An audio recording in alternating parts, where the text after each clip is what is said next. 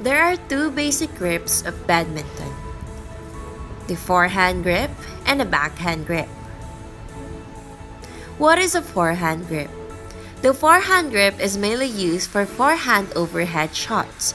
It is an easy grip to learn and also provides a useful reference point for learning the other grips. How do you hold a proper forehand grip? Think of it as if you are shaking somebody's hands. First, hold the string area with your non-racket hand and slide down until you hit the handle of the racket.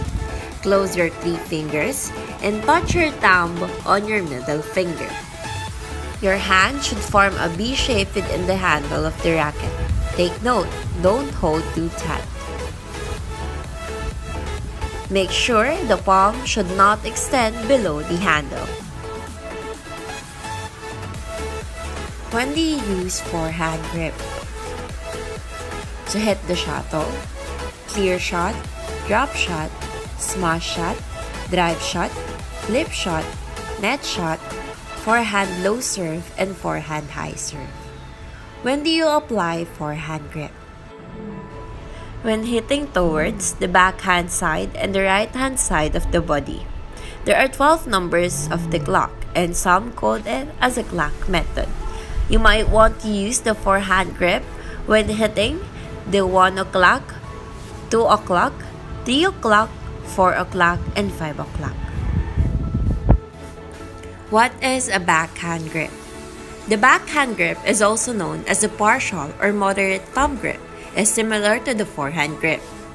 The grip is used to hit shots that are on the backhand side of your body. How do you hold a proper backhand grip? Rotate your racket in horizontal pace. Place your thumb on a wider part of the racket. Apply a pinching grip. The index and the thumb are in the same level. Keep it balanced and take note, don't hold too tight. Backhand grip allows you to have power in a very close space. The thumb will help to push shots. It allows swing power without any restrictions on wrist. When do you use backhand grip?